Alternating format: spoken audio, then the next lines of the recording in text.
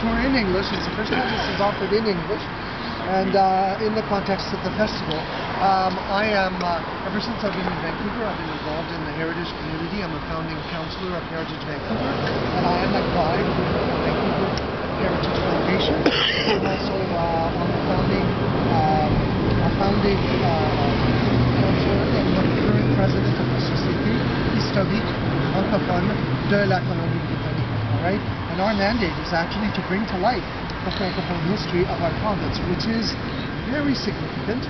Um, most people don't know that several towns and cities and villages in, the, in BC were created by francophones, including Kelowna, Mission, Canal, Maillardville. Victoria.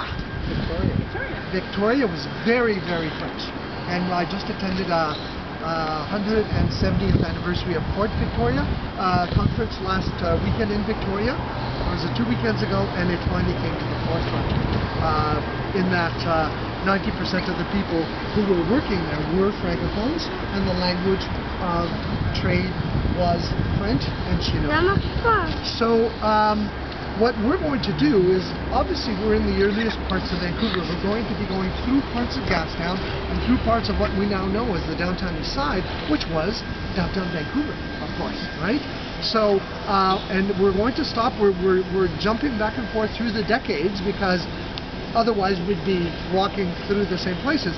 But we're going to, I'm, I'm going to share some stories with you about some key francophones that were here as pioneers or as key members of the community. And here we are in Victory Square, and this area, this corner here, was a key building in the city. It was the city's first general hospital. Right there, that crappy two-story parking lot right there. And I'm going to pass it around because this is the gentleman we're talking about. Pass it around. His name is Dr. Henri Évariste uh, Langis, Levroux Langis. What a fabulous name, Dr. Langis. So he really became quite to light. Um, you, you probably know that in 1886 Vancouver became a city.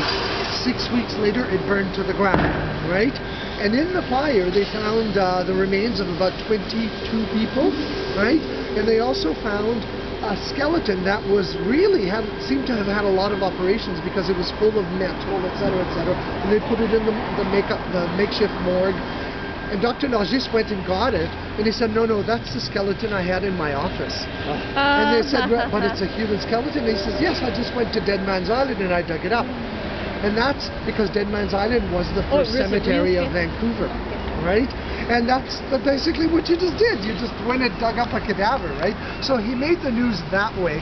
But also, um, he came from a village called Bic in, in Quebec.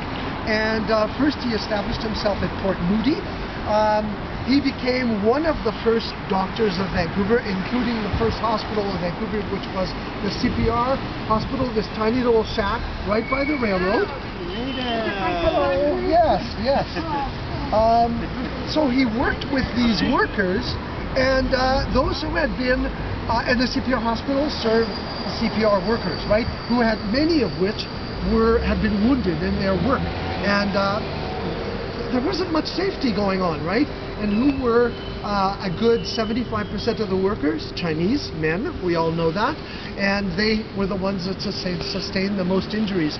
And he was the one, Dr. Uh, uh, Langis, he was the one, this lady hasn't seen the pictures here, um, he was the one who actually realized one day there was a, a man there who had a badly broken leg. There was absolutely no way that was going to mend because for the Chinese they gave them very little medicine and they knew they were replaceable. And the next day he was gone and the other Chinese workers said, oh, they sent him back home. Well, no. The thing is, he found out that the CPR was giving them uh, lethal dosages of morphine. Oh my Doses of God. morphine. Knowingly or unknowingly? Yeah, knowingly. Okay. Uh, so it was medicine, but basically it freed up. And he's the one who brought this forward, even though it was never really proven. But he basically came to that realization. So, and he's the one being a good man, and he was an exceptionally good man. He uh, he treated a lot of different uh, patients, uh, many without asking for payment because he knew they couldn't afford it. Um, This is the man we're talking about here. And what's his This name guy again, here. please? Dr. La, uh, Langis. Langis? Langis. Hen- Henri Évariste Levroux Langis. All right? And L A N G I S.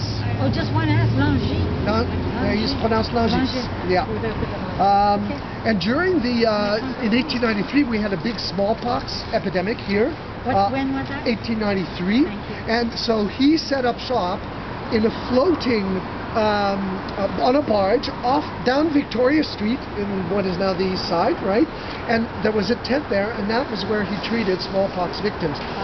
The hospitals didn't want the smallpox victims because it was highly contagious, of course. And is that how the uh, Aboriginal people caught it at, at that outbreak? Oh no no they were that was long gone. That was 18 uh, So this is a six- second 50s 60s oh this is long gone yeah. Um, he finally moved to Parksville but he uh, he died in Vancouver in 1937 and he's buried in Burnaby. Um, and it is said of him that he would have been a rich man had he uh, collected Uh, asked to collect the fees of all from all the patients that that he did help out so that's our first one, and I just can't believe this is the kind of buildings that we've lost. That used to be standing right there, the first General Hospital of Vancouver. All right, we're just going to walk up a block over here.